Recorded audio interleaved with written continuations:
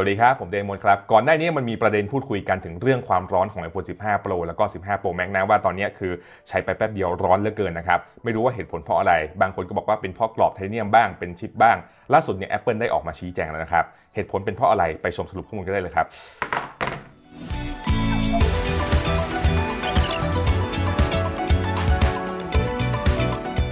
สืบสาวเราเรื่องกันก่อนนะครับ ก่อนหน้านี้ผู้ใช้ iPhone 15 Pro แล้วก็ iPhone 15 Pro Max หลายคนนะครับ ต่างครับรายงานปัญหาว่าตัวเครื่องเนี่ยร้อนเร็วกว่าปกติ ใช้ไปไม่กี่นาทีเนี่ยก็ร้อนแล้ว แล้วก็มีหลายกูรูนะครับออกมาวิเคราะห์ถึงปัญหานะครับว่าเป็นเพราะจากอะไรบ้างบางรายนะครับเผยว่าเป็นเพราะตัวเครื่องนะครับที่ใช้วัสดุกรอบไทเทเนียมนะครับแล้วก็มีการปรับดีไซน์ภายในตัวเครื่องใหม่ให้ซ่อมง่าย แต่ดีไซน์ภายในตัวเครื่องพร้อมกับไทเทเนียมเนี่ยช่วยให้ตัวเครื่องเนี่ยระบายความร้อนได้ยากขึ้น จึงทำให้ iPhone 15 Pro 15 Pro Max เนี่ยร้อนขึ้นกว่าเดิมนั่นเอง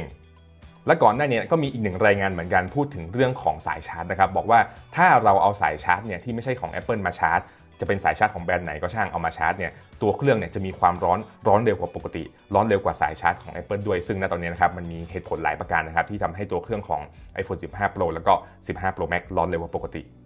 ล่าสุดเมื่อคืนวันเสาร์ที่ผ่านมานะครับ Apple เนี่ยได้ส่งจดหมายแถลงการนะครับไปยังสื่อที่สหรัฐอเมริกา แล้วก็หลายๆเว็บเลยพูดถึงเรื่องนี้นะครับว่ามีสาเหตุมาจากอะไร Apple เผยว่ากรอบตัวเครื่องวัสดุไทเทเนียมนะครับแล้วก็การปรับดีไซน์ภายในของตัวเครื่อง iPhone 15 Pro แล้วก็ iPhone 15 Pro Max เนี่ยไม่ได้เป็นต้นเหตุนะครับที่ให้ตัวเครื่องร้อนไวเหมือนกับที่หลายๆ สื่อแล้วก็หลายๆกูรูเผยไว้นะครับต่อมาเนี่ย Apple ระบุถึงหนึ่งสาเหตุนะครับที่ทำให้ตัว iPhone 15 Pro และ iPhone 15 Pro Max เนี่ยเครื่องร้อนไวมาจากการทำงานของ CPU นะครับที่มากเกินไป Apple เนี่ยระบุชัดเจนเลยนะครับว่าแอป Third Party บางตัวเนี่ยใช้ CPU มากเกินไปยกตัวอย่างเช่น เกม Asphalt 9 Instagram แล้วก็ Uber นะครับ แล้วก่อนในนี้นะครับก็มียูทูบเบอร์นะครับได้ทดสอบแอป Instagram นะครับในตัว iPhone 15 Pro แล้วก็ iPhone 15 Pro Max ด้วย ก็คือถ้าเราเปิดแอป IG ทิ้งไว้แล้วไม่ได้ใช้อะไรเลยนะครับ ตัวเครื่องเนี่ยจะมีความร้อนเพิ่มสูงขึ้นเร็วมาก และจะทำให้ตัวแบตเตอรี่ลดลงเร็วมากนะครับ ก็สื่อถึงว่าตัวแอป Instagram ณตอนนั้นนะครับ ก็อาจเป็นหนึ่งปัญหานะครับที่ทำให้ตัวเครื่อง iPhone 15 Pro แล้วก็ iPhone 15 Pro Max แบตหมดไวเพราะมีการดึงใช้ CPU มากกว่าปกติ Apple นะครับระบุว่าได้ติดต่อแล้วก็ร่วมมือกับนักพัฒนานะครับเพื่อแก้ไขปัญหาดังกล่าว อย่างเช่นตัวแอป Instagram นะครับที่ได้ปล่อยอัปเดตเวอร์ชัน302 เมื่อวันที่ 27 กันยาที่ผ่านมานะครับก็ได้แก้ปัญหา CPU ทำงานหนักไปแล้วครับ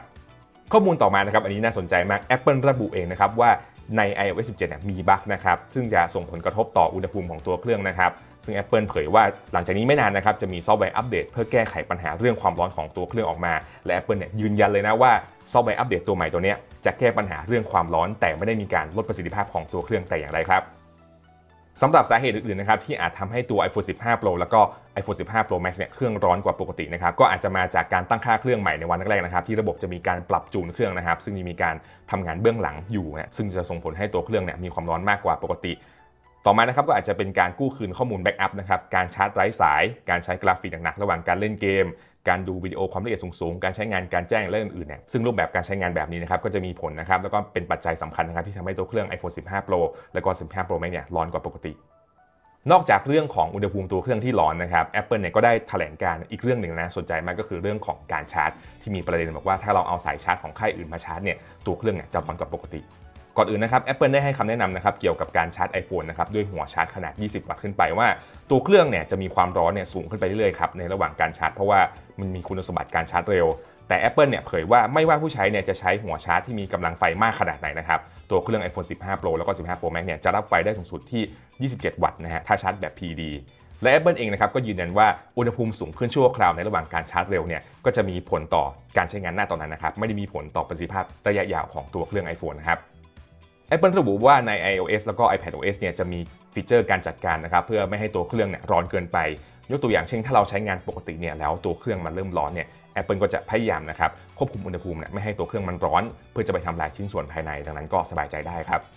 อย่างตัวอย่างเช่นนะครับถ้าเราแบบใช้งานตัวเครื่องแล้วมีอุณหภูมิสูงมากเนี่ยเขาก็จะมีข้อความนะครับขึ้นว่า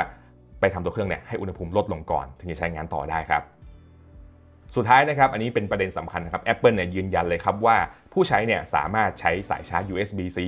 หัวชาร์จ USB-C เนี่ยแบรนด์ไหนก็ได้นะครับ จะเป็นแบรนด์ของ Apple เอง หรือไม่ก็เป็นแบรนด์ของค่ายอื่นนะครับ ก็สามารถเอามาชาร์จตัว iPhone 15 15 Pro ได้ปกติ ไม่ได้มีผลต่อการจำกัดประสิทธิภาพการชาร์จแต่อย่างใดนะครับแต่อุปกรณ์ที่เอามาชาร์จนะครับควรที่เป็นอุปกรณ์ที่ได้มาตรฐานนะครับแล้วก็ได้รับการรับรองเพื่อการใช้งานที่ปลอดภัยสูงสุดด้วย ข้อมูลทั้งหมดนี้นะครับเป็นรายงานแล้วก็การชี้แจงจาก Apple เองนะครับส่วนตัวก็สบายใจได้เลยนะครับคนที่ใช้ iPhone 15 Pro แล้วก็ iPhone 15 Pro Max เนี่ยก็รออัปเดตซอฟต์แวร์อัปเดตกันได้เลย แล้วก็ที่สำคัญเนี่ยพยายามนะครับอัปเดตแอปที่เราใช้งานอยู่เนี่ยให้เป็นเวอร์ชันล่าสุด และการใช้อุปกรณ์การชาร์จเนี่ยควรจะใช้อุปกรณ์ที่มีมาตรฐานนะครับทั้งสายชาร์จแล้วก็หัวชาร์จก่อนจากกันไปนะครับก็ฝากกดไลค์กดแชร์กด subscribe ช่อง iMoD Official ไว้ด้วย ผมเป็นนมดขอลาไปก่อนนะครับ สวัสดีครับ